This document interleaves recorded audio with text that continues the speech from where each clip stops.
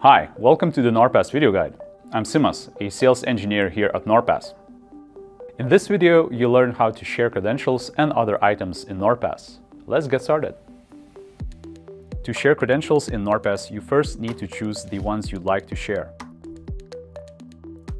Then a pop-up window will appear allowing you to enter the email addresses of the members of your organization in NordPass with whom you'd like to share them and adjust the level of access you want to grant to the recipients.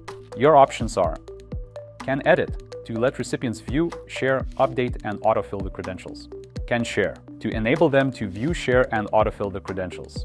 Can View, to allow members to view and use autofill with selected credentials.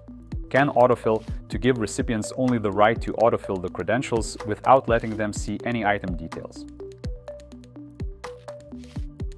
Passwords, credit cards, and personal items are set to Can Autofill by default, while passkeys and secure notes are set to Can View.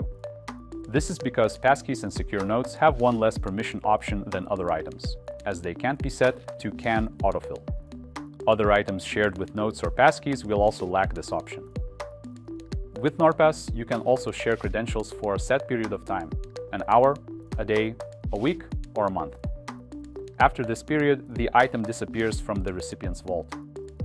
Expiring shares are limited to can autofill and can view permissions, meaning recipients cannot forward or edit the shared item. The item owner or anyone with can share or can edit permissions can adjust the expiration date or change the recipient's permissions. To grant permissions higher than can view, the item owner must first remove the expiration and then update the permission level the item will remain shared during this process. After sharing an item, the recipient gets a notification in NordPass and must accept the request to access it. The item stays pending until they accept. Note that the sharing period starts immediately when you share the item, not when it's accepted. If you assign a project to someone else and no longer require access to the credentials, you can transfer ownership of the item to them.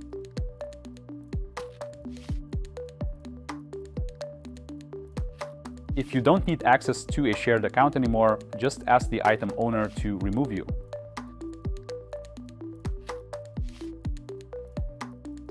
Item owners can also easily revoke someone else's access when needed. In NordPass, you can easily filter stored credentials in your vault. Let's see how it works. You can filter by shared settings to see items that are shared with you, items that you have shared, or items that are not shared at all. You can also filter by access rights, such as items you own, or have permissions to edit, share, view, or autofill. Finally, you can filter by the time items were edited, like today, yesterday, this week, this month, or the last three months. Keep in mind that you can also easily share credentials using the NordPass mobile app. Let us show you how. First, find the item you want to share and open it. Click the Share button enter the recipient's email address and select the level of access.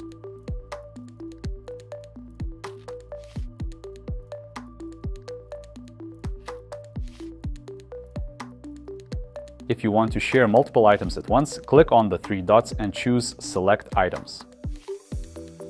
Once you do that, click on the share icon and follow the same steps to complete the process.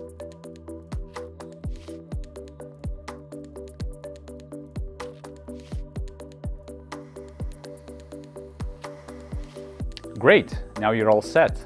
If you have any questions about this topic or NordPass in general, contact our customer support team for assistance. Stay safe.